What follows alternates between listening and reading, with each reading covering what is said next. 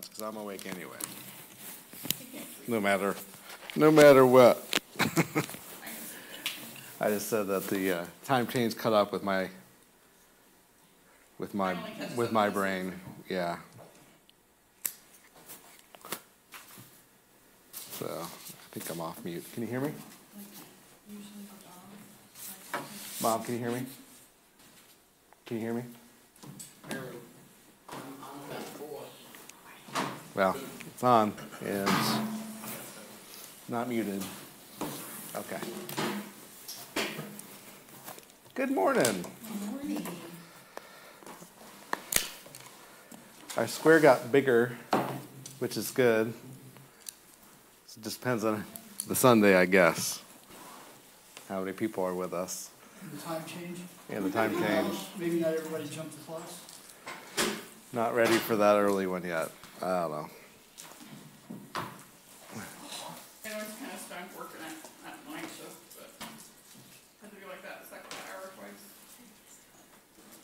No, that would be good. at least it felt like that. Well, good morning and welcome. Um, today, we need to stop about ten thirty-five.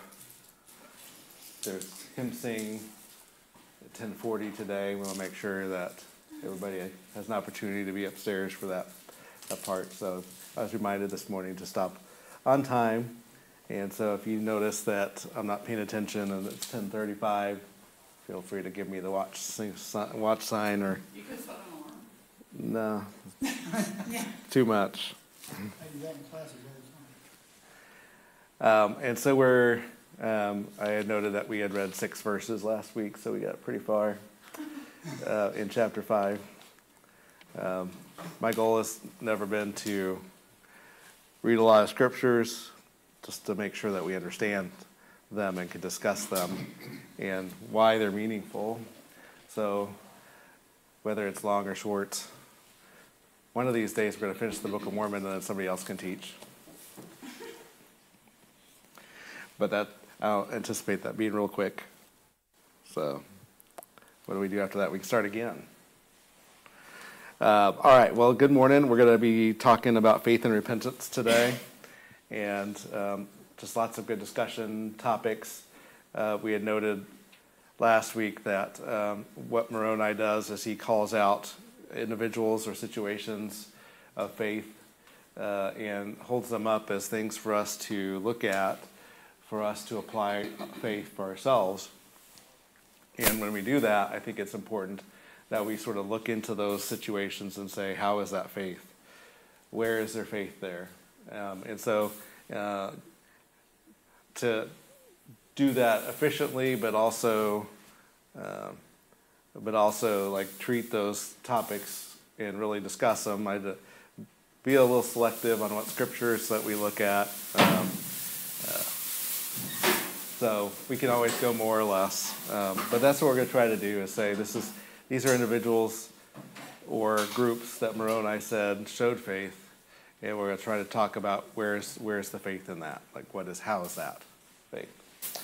Um, and I think there's some themes in there uh, that we can apply to our to our own lives. So thank you for joining us today. Um, we'll start with uh, a prayer this morning. We want to invite the Holy Spirit to be with us so that everything that we do is pleasing to our, our, our Lord. Corey, would you mind um, saying that prayer for us today?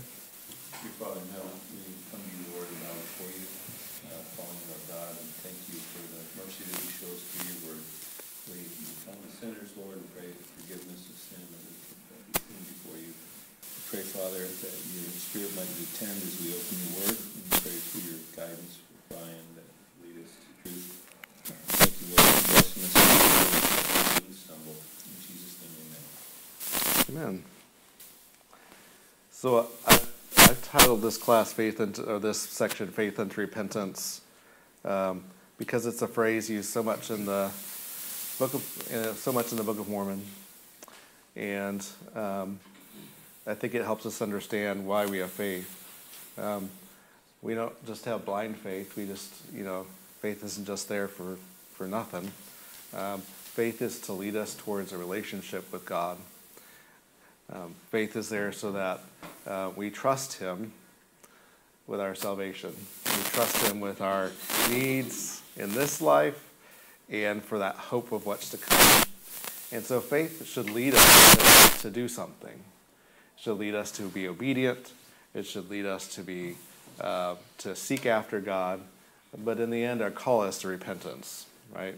Um, and so for us to recognize sin and seek to cast off sin, seek to move away from sin, um, that requires choice. That requires um, a conscious effort to say, um, I seek after things that are holy, um, not after the things that look good to me, right? Not after the things that are all around me. And so that takes faith. It takes faith to say, this way of God is better than this way of man. So we can't repent if we don't have faith in this new life that we're seeking. Um, and so that's why in, in Mosiah, you know, Abinadi is like, we should preach nothing but faith and repentance. Because that's, that's really what it's all about. It's faith and repentance on the Lord.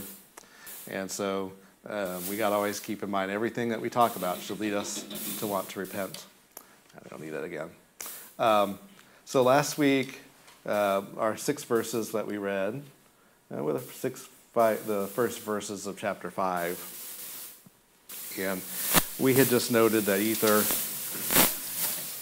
is a prophet in these last days of the Jaredites, and we had talked at length about what it takes to have faith to preach the gospel, even though you recognize that uh, the people that you're preaching to are likely going to reject the words that you say. That you say, but regardless of what, regardless of what um, is going to happen, um, you know, he knew that his job was to make sure that they knew the truth, and he preached the truth.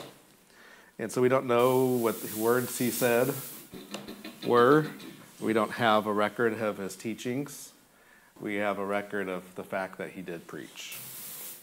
And so we have these words of Moroni abridging those things. Ether came forth, he prophesied unto the people, he cried from the morning until the going down of the sun, exhorting the people to believe in God unto repentance, lest they should be destroyed, saying unto them that by faith all things are fulfilled. Wherefore, whoso believeth in God might with surety hope for a better world even a place at the right hand of God, which hope cometh of faith, making an anchor to the souls of men, which would make them sure and steadfast, always abounding in good works. And they believed not because they saw them not. So, Ether is speaking of things that are spiritual. These people were past perceiving things that were spiritual. And whole other topic that we've already discussed, right? Faith is about things that are spiritual, right?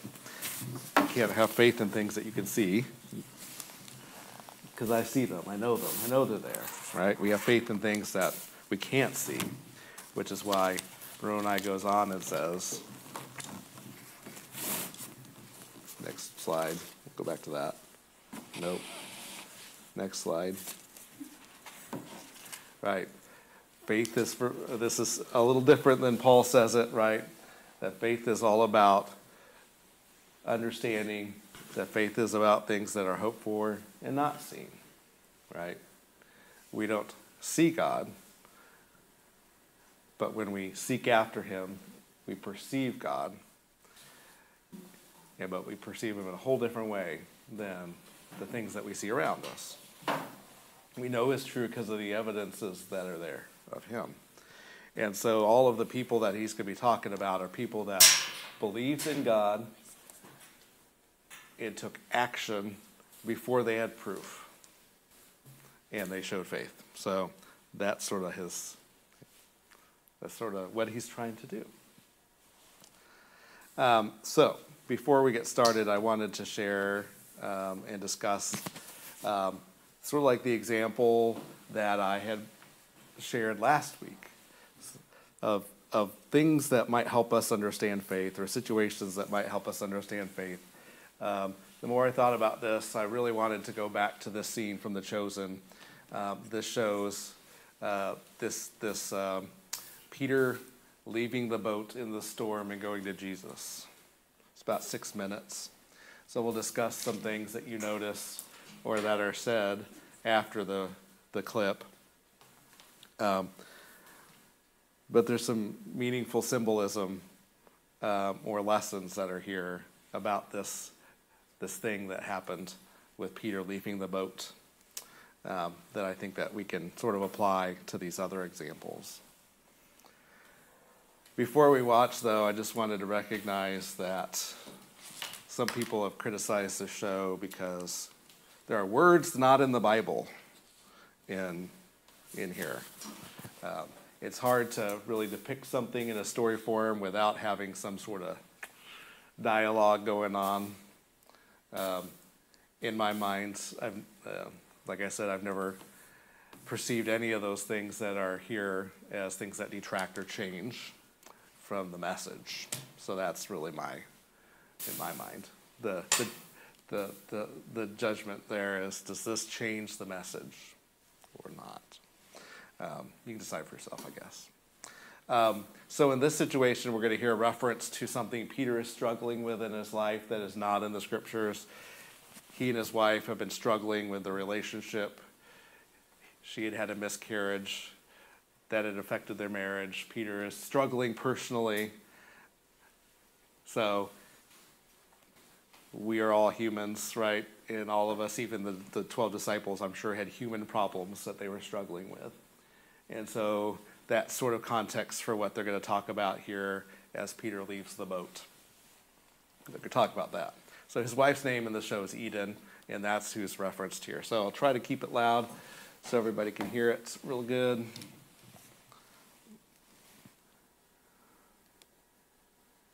Hi, okay.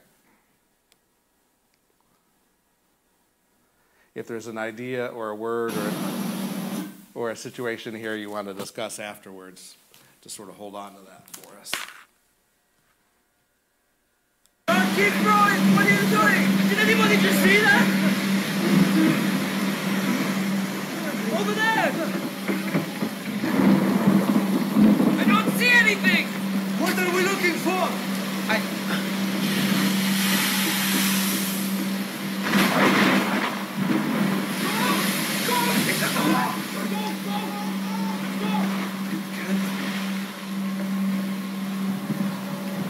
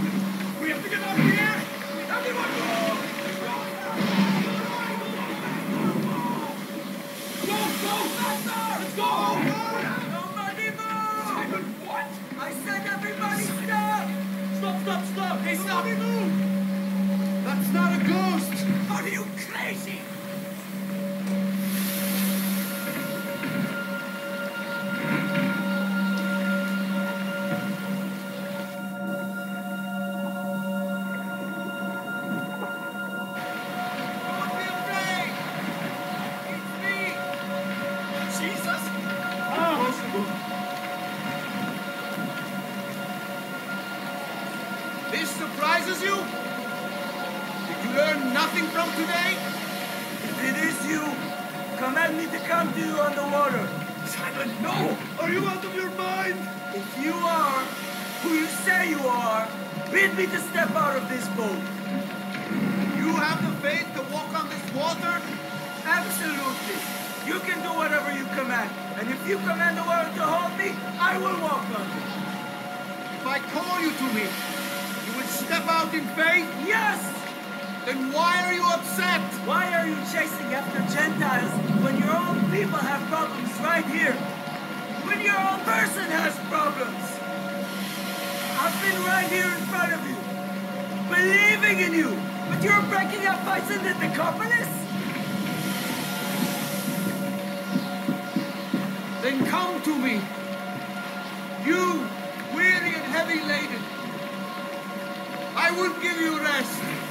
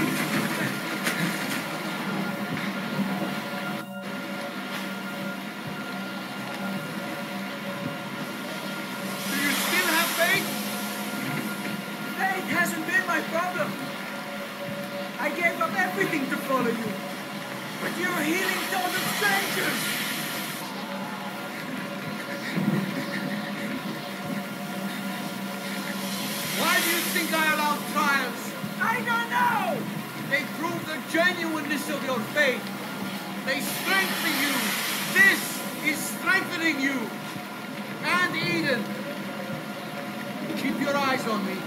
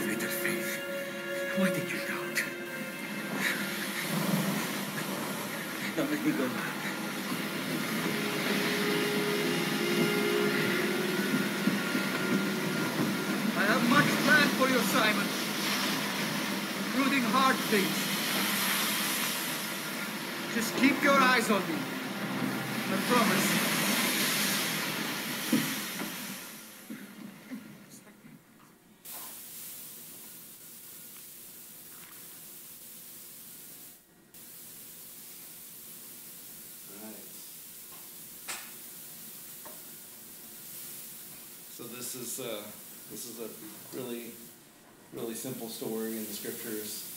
Um, Not a whole lot of verses in the New Testament, but, um, we're talking about faith and we're talking about things that help us understand faith.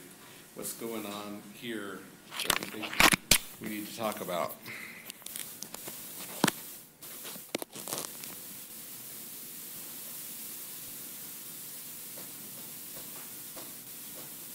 Struggle sure you- is no matter how much, oops, Make sure you grab a mic.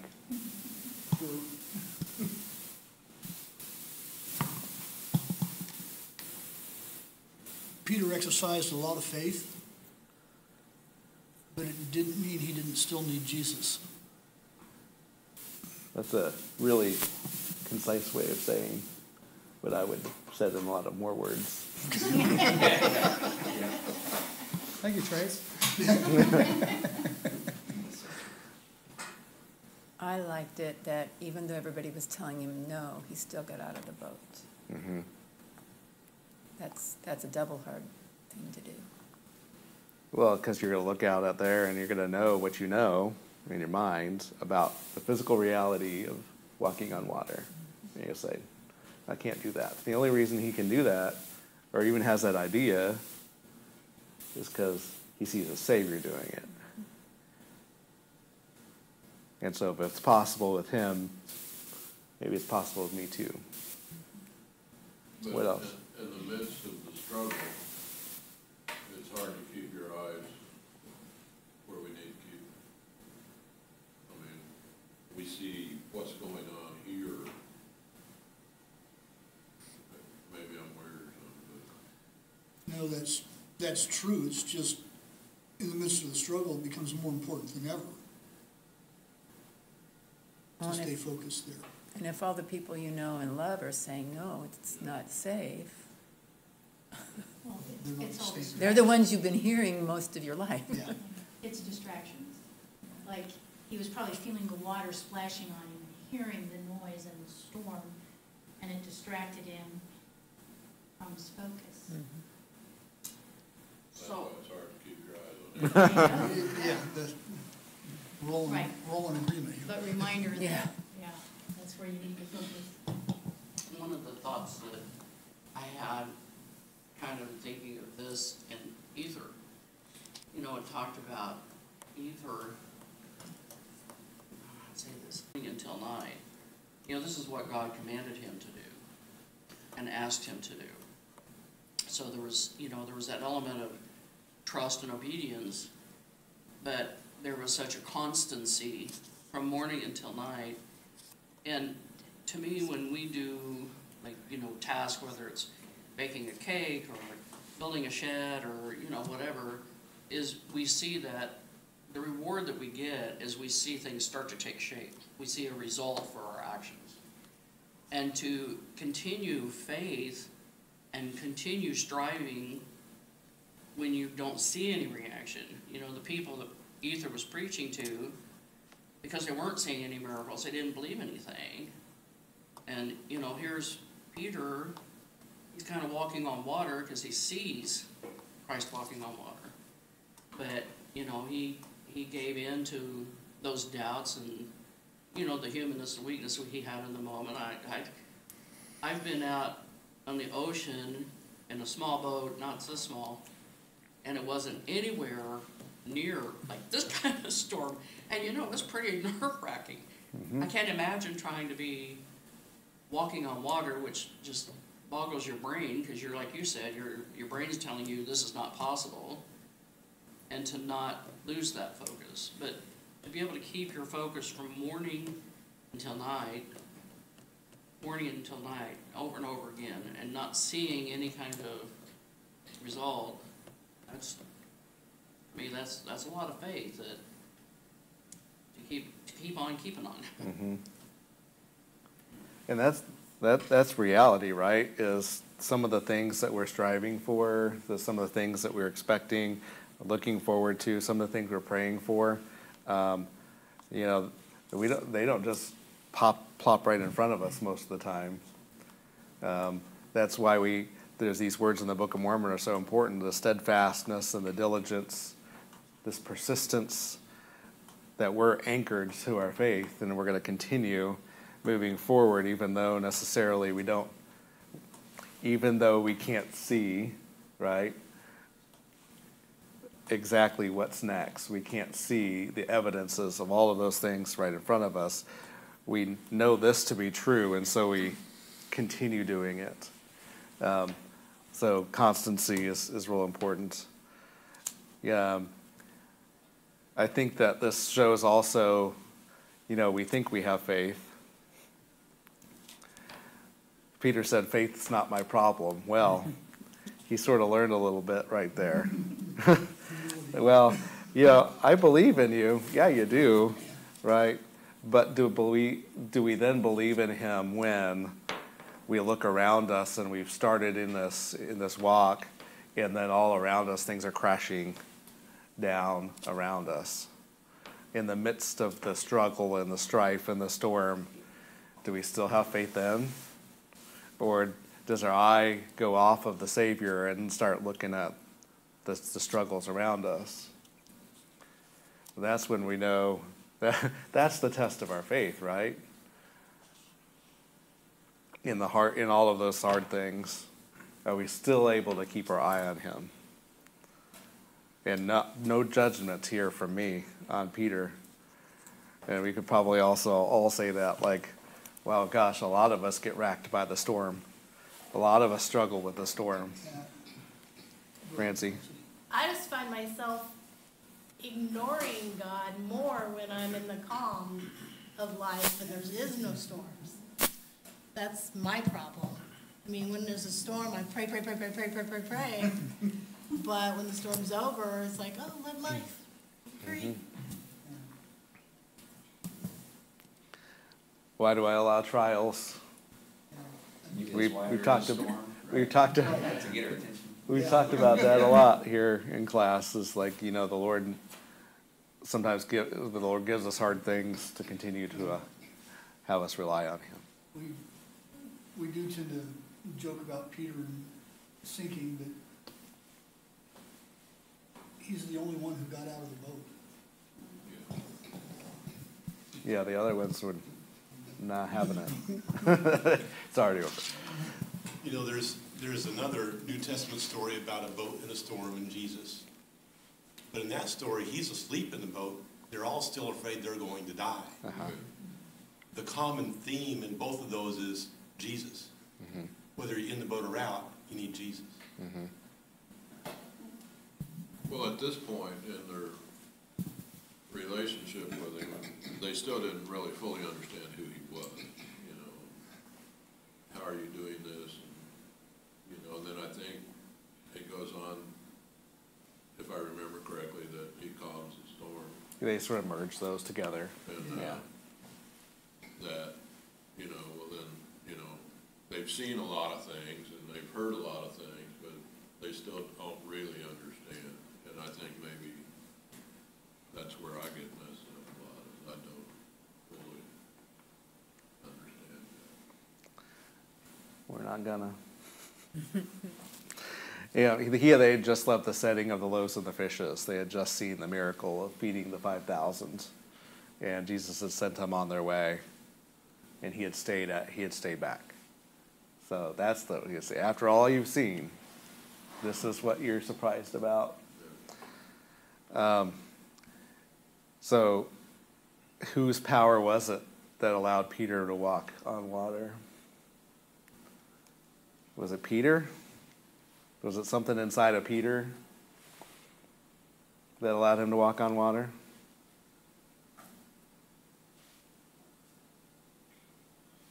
I can say no, right? Right. He could only do anything that he did because the Savior was present and he was looking at the Savior, right? It wasn't about any power that Peter had. Is that he, was doing, he was stepping out in faith towards the towards the Savior. Yeah, which would be different than hmm, if I have enough faith, I can get out in the middle of Lake Jacomo and start walking. Those are different things. The Savior was there, right? Um, so I, I like this because it helps us understand a little bit about our own faith and some of the things that are real within our lives. Um, and, you know, we're just going to recognize here that, you know, when we move out in faith, um, that it's going to be um, faith, our faith is going to be most shown when we are moving towards God and we're following His plan and we're trusting in His word and we He asks us to do things or we com- feel compelled to do things by the Spirit, but we don't know the outcome of those things. We don't know how it'll happen. We have no idea um, how it will work out, but we step forward anyway. And in none of the stories we talk about do people uh, are people led forward by God as they start moving, and then everything is good. Everything is no no problems, right? And every story that Moroni, in all of these situations that Moroni that Moroni talks about, people endure hardships and trials and suffering, and none of and none of that is easy, right? There's a storm in all of them, and so their faith was, what do you do in that storm, right? So are we still in the boat? Are we on the water? Depends on which time you talk about. Sometimes I think we step out, sometimes I think we step back. In, in this class, I think we're in the boat. It's pretty safe. Pretty safe. Um, I feel that, um, you know, what the Lord is asking us to do sometimes get out of the boat, right? Um, there are things, um, there are things that we can do that'll get us away from safety that sometimes we don't do because we're afraid. It's different, it's new, it's risky. like I said, I am risk averse. Stop. I am risk averse. I try. I tend to avoid risks. I try to do it the safe way. Um, it, the Lord has asked. The Lord calls people into trusting Him, and these situations are not places that are safe or risk free, right? Um, so, um, our hope and our confidence in God is about the things that He can do for us in this world. Our hope and our confidence in God is also our assurance about what He will do for us in the next world, right? So, Moroni in chapter 7 talks all about faith, and we got to remember that part of our faith is also faith in eternal life, faith in the resurrection and crucifixion and the blood of Christ to wash away our sin. So um, we exercise faith towards towards knowing God, towards eternal life too. Um, so a lot about faith. So Ether five seven through ten. I'll read this one, and then um, we'll look at our first example. And I don't have all the answers here, so I invite you to chime in on some of these because these are Moroni's examples. Um, this verse, verse 7, is super important. Dispute not because you see not.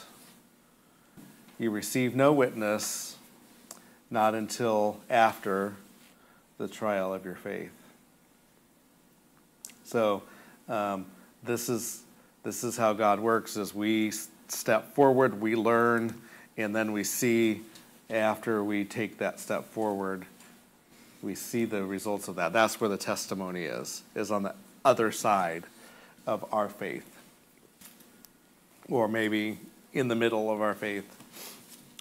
Uh, For it was by faith that Christ showed himself unto our fathers after that he had risen from the dead. And he showed not himself unto them until after they had faith in him. Wherefore it must needs be that some had faith in him.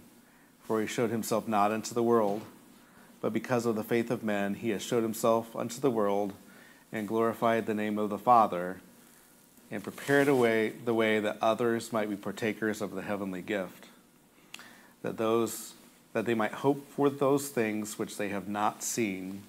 Wherefore ye may also have hope in partakers of the gift, if you will but have faith.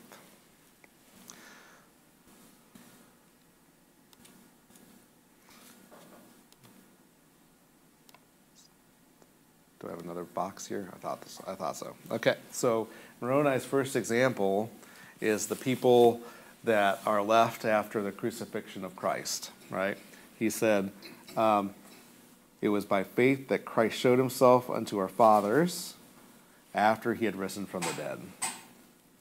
So Moroni is talking back to chapter third Nephi.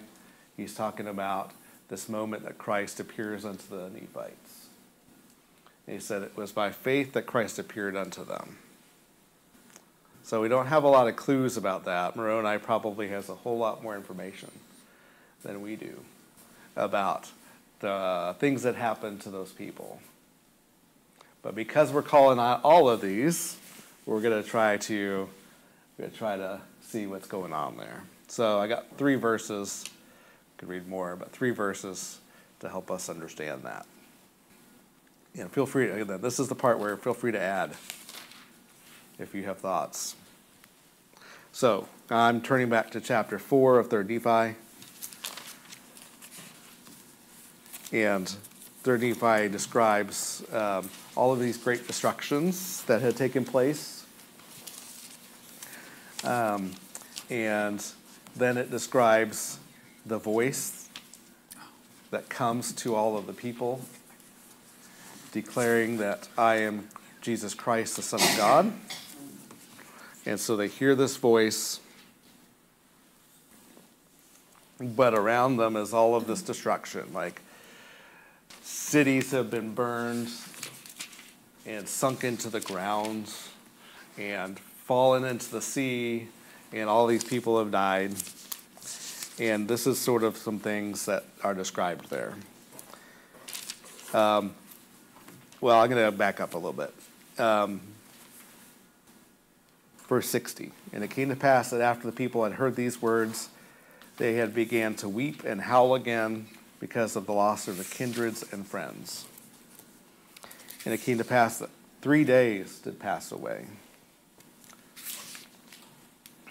And it was in the morning, and the darkness did pass off from the face of the land, and the earth did cease to tremble, and the rocks did cease to rend, and the dreadful groanings did cease, and all the tumultuous noises did pass away. And the earth did cleave again together, that it stood, in the mourning, and the weeping, and the wailing of the people which were spared alive did cease. So that's the first part. So, um, what I what I am seeing here and just imagining is, um, if we had in this place that we live, and all around us, three days of darkness and destruction, and maybe our family members had died. For sure, all of the things around us are just, you know, roads and streets and bridges and buildings and houses are in ruins all around us, right? And the the more the sun finally comes up and we look at that devastation, right? What do we do?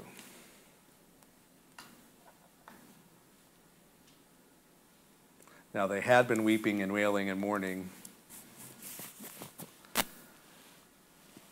And the but and they could have continued, right? Weeping, wailing, and mourning.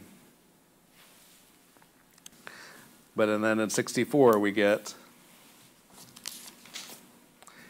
and their mourning was turned into joy, and their lamentations into the praise and thanksgiving unto the Lord Jesus Christ their Redeemer. And thus were the scriptures fulfilled which had been spoken of by the prophets. Um, so, I'm sure that Moroni knows more about what happened there than we do. But um, something happens within these people, or at least part of the people, where in the midst of all of the destructions and devastations and death of family members, they cleave unto the hope of Jesus Christ, right? They cleave unto the hope of the thing that they had heard, that voice that they had heard, and their knowledge of the prophecies and promises and the covenants that they knew about. And so at some point in there, they chose to turn their mourning into joy. That's what we know, right? They hadn't seen anything yet. They had simply heard a voice, a still voice in the midst of the darkness. But they made a choice to have joy. Thoughts about that part? Well, On a baser level, you would be happy that you survived. You could be happy you're, you're alive. Yep. It wasn't me. And hope came with the sun. Hope came with the light coming back out. Mhm. And I, I think when, uh, when you see the bad thing that happened in your life or whatever, like, when you see like, oh, now I see why that happened, like why, you know, you see the good that's gonna come from it, Mhm. if, if that makes any sense, I think maybe. Yeah, yeah. It's like, oh, wait, this means Jesus come, yeah.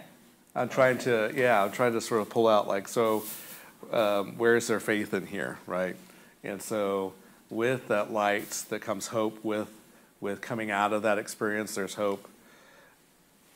Um, but for sure, their joy has to be in the words they heard, right?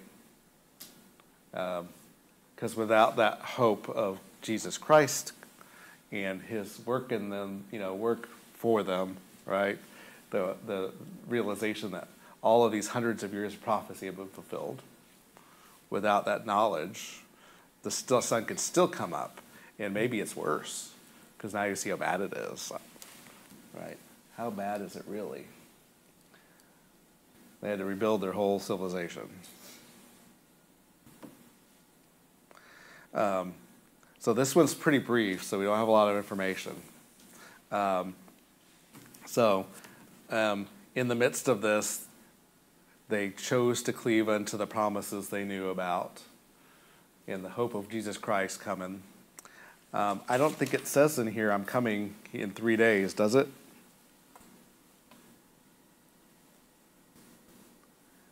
It just says, I've, I've spared you as a hen gathered their chicken under her wings. Return unto me with full purpose of heart. Right? And stops. So after that, the first verse of chapter 5 we get, and now it came to pass that there was a great multitude gathered together of the people of Nephi round about the temple which was in the land bountiful. I've heard um, David Collier sort of talk about this setting um, in the past.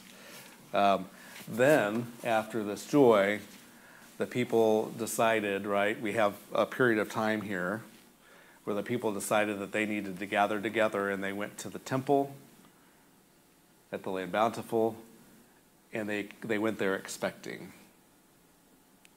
Right? So something worked upon them to gather them together to look to look up. To look up for God. I don't know what they expected.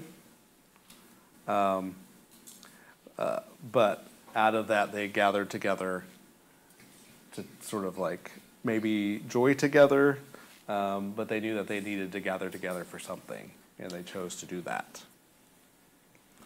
And then Jesus comes down.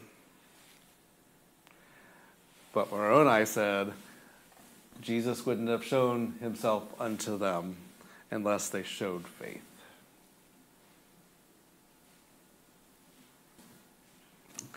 Any other thoughts there? Just trying to, to help us ourselves understand like in the midst of trial, we have choices. And in the midst of their trial, they had choices. That's what makes sense to me. Anything makes sense to anyone else? Any other ideas? I just see the parallel that Uh huh. in, in the New Testament story, there's a storm, they hear a voice, they come to Jesus, and in the end, it says, and, uh, when they were in the ship, they came and worshiped him, saying, of a truth, thou art the Son of God. In the Americas, there's a storm, they hear a voice, they come to Jesus, Mhm. and they kiss his feet, and they say, you're our, our God. Mhm. It's al- It's almost, in every trial of our life, it's almost the same thing, but, but it's always, what's interesting is that the text in the Bible never really answers the question, why was Jesus out there in the water anyhow? Mhm. But he wasn't just going for a walk. but No, no, he- no. He was already there, even though they thought the big problem was the storm in their lives, but the bigger problem was their lack of faith, and he, he proves himself either way. Yeah. Yeah, they're really close. There's really similarities between those two two things. So again, Moroni is abridging a record, and um, from all that he knows, right? Um, these people left over after this terrible tragedy um, showed faith by choosing to worship God, choosing to have joy, choosing to, to, to, to look forward to that, to cleave to the idea that this promise had been fulfilled, and then gathering together, right, in, in, the, in anticipation of something. Yeah. Okay, so I have this really weird thought. My understanding is when Jesus was crucified, didn't God himself leave Jesus' body to die in human form? And maybe when that happened, the people over here felt that distance. And then when he regained it, when he rose again, they felt that and knew that it was finished and that this had happened. And so that was my thought. Um, and like, like he said, Jesus was in the boat or out of the boat. The, the object of the storm was Jesus was still with them and we need him with us. Instead of the absence of the darkness and horrifying storm that they went through for three days of the darkness and all that. So that was my thought. I, I don't know if there's really truth to it, but maybe there's something with God being present in our lives even before Christ sent the Comforter to us these days. So Yeah, I think that's the whole that that's maybe one of the big ideas about faith is, right? We're, we're not going to walk through life with calm, sunny weather. Um, we're going to walk through life, and the Lord's going to lead us. And there's going to be storms of our making, His His His allowing, um, uh, other people in our lives, and there's going to be storms there. Um, and He's always going to be the option is always there to call on Him because He's never going to leave us. He's never going to be a situation we can't involve Him in that. And our choice is involving Him and looking at Him or not. Right? That's the- He's always always there in, in the midst of all that. Yeah, I was going to add that um, one of the things it says in 69 is that uh, they read the scriptures. And in the scriptures, they recalled Zenos and his prophecy, and then Jacob and his prophecies. And so therefore, in the midst of the storm, God was able to say, you've studied this. Uh huh. Remember these things? Yeah. And then they became even closer to him, because then they were like, oh, yeah, I told you these were coming. yes. this is should not be a surprise. And then they went forth and Uh-huh. testified unto the multitude who was not there. Yes. And that brought them even closer as they gathered then in five. Yes, one. they shared the word, right? Yes. Yes, they, they passed that on. Okay. All right. Um, some Josh in here, some good Book of Mormon stories for next time. He'll he can take over. Um, so we're going to recognize here um, some really important words, important ideas. Um,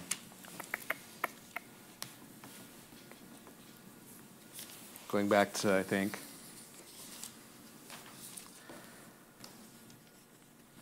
our next idea.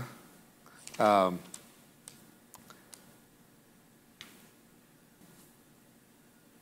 I'll just read it. Um, our second idea here, also sort of connected with big ideas about faith. Um, it was by faith that they of old were called after the holy order of God, wherefore by faith was the law of Moses given.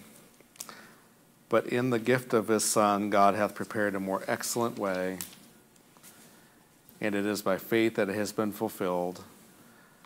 For if there be no faith among the children of men, God could do no miracles among them. Wherefore he showeth not himself until after the trial of their faith.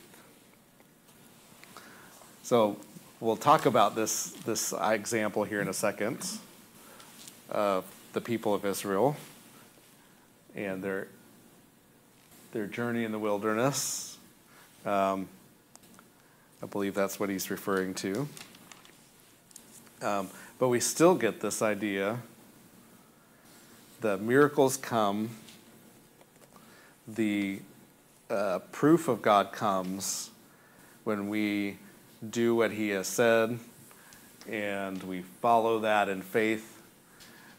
We step out, out of the boats into the water, and then after that, we see the miracle. So um, it's yeah, we don't have the assurance of what's going to happen before we do it. After we do it. Okay, that's how that goes. So um, that's the order. So the more excellent way is Christ. Before that was given, the children of Israel were under this Abrahamic Mosaic law. Um, and Moses or Moroni cites that they're receiving this happened through faith. This is thought a lot about this example to try to make that meaningful. So we're going to th- think a little bit about what we know about that. Hopefully, we make sense of it in seven minutes. okay, got some pictures to help us. So, um, think about your Ten Commandments. So the children of is the children of Israel, the house of Israel, they're led out of Egypt. What's what's the what's the mood here that you remember from just your imagination or all of the all of the uh, those plagues and trials are over and the pharaoh said all right get out of here. So how is that portrayed?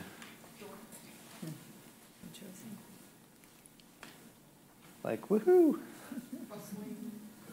we have all kinds of people that have been given freedom and they are headed to the promised land. And they're all super excited in the movie. They got their donkeys and their foods and their whatevers and carts and things and they head out. Optimism. Yeah, yeah. There you go. So, then the dog Rebecca? No, the doll. Oh, the doll. Yeah. Where's the doll?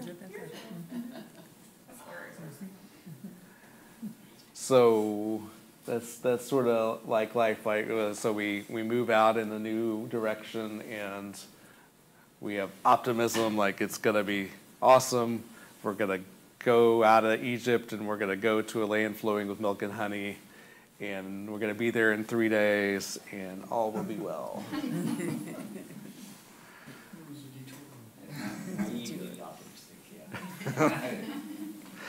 All will be well. All the bad parts are behind us. Mm-hmm. Mm-hmm. Yeah. So that's not what happened, is it? It took them longer. It took detours. Has anything been e- has anything been easy for the house of Israel? Has there been anything easy for us? Has Even anything been easy for church. us? What did the uh, early saints think when they got the Book of Mormon? Zion was coming. Oh, yeah.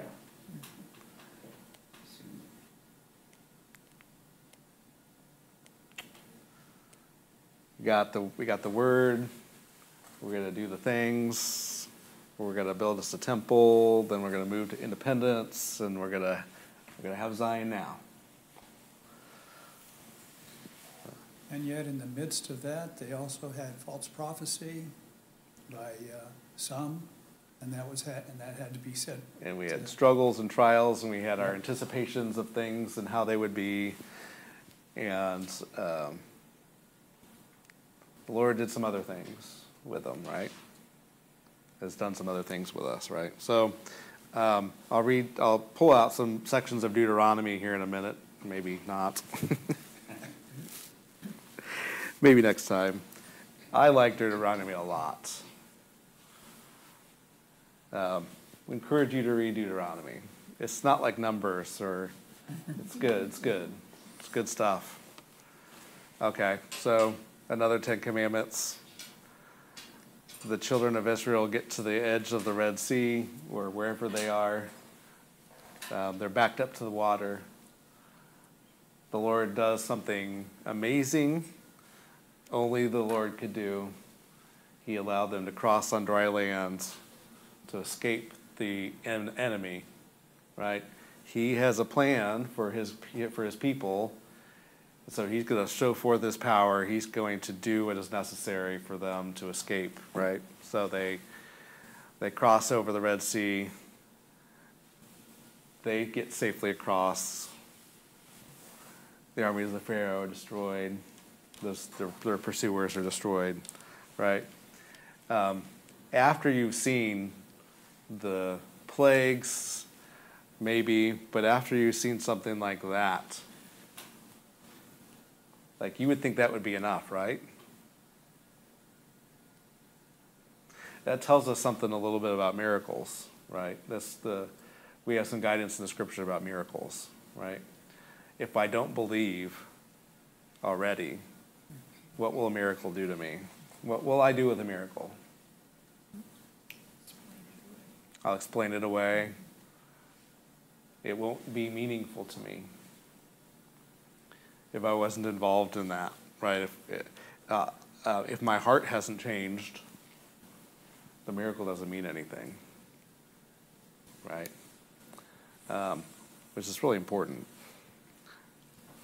So, then we have, uh, I just found this, it sort of matches up with what I understand that they did, right? Um, the House of Israel camped in camps. Um, they're, they had a structure and an order for their camps. They're all nomads in the desert. Um, all of the ten tribes, all of the twelve tribes are arranged in a specific order and pattern around the tabernacle in the middle. And um, they are in the desert and they are moving forward away from Egypt, but probably not daily. Right? I believe it probably, based on the how long length of time they're out there, um, they're probably in camps for periods of time and they move. They move, they move, they move. They move. Um, so they're in the desert. It probably not a nice place to live. Um, and how long? Did anybody know what they say? Like how long it would have taken if they had just walked straight to Israel? How long it should have taken them? Ten days, Yeah, not long at all. Right? Yeah. There's no reason why they ought to be in the desert for 40 years. Other than that's what was God's plan. Right? They weren't ready yet for the promised land. God needed to do a work with them first. Right? Um, and so they're in the desert, and I guess we'll pick this up next time. How do they survive? What's what are they doing here? Manna from heaven. Picking up manna, right? So, um, we'll. I guess we're done. We'll pick up this story next time. Uh, we're trying to see what the Lord did with the house of Israel. Um, my interpretation of this is the Lord forced them to have faith through trials. They were they were sort of okay. No, that's all. I'll, I'll stop there. All right. Uh, thank you for our discussion today. Um, we'll see you upstairs. Have a blessed week.